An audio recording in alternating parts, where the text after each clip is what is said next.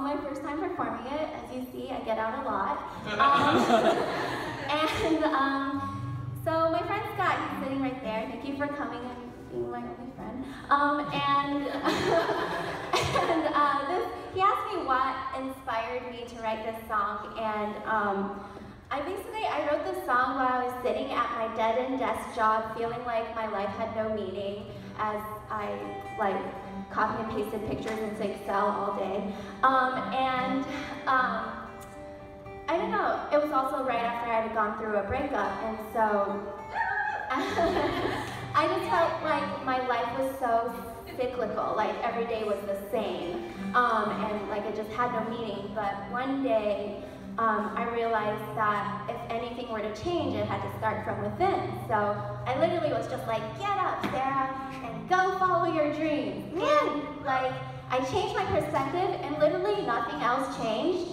but it's okay because my heart was happy. And then slowly I started to, like, inch towards my dreams. So this is supposed to be an empowering song about like breaking routine and finding the courage to pursue your dreams. All right. Yeah.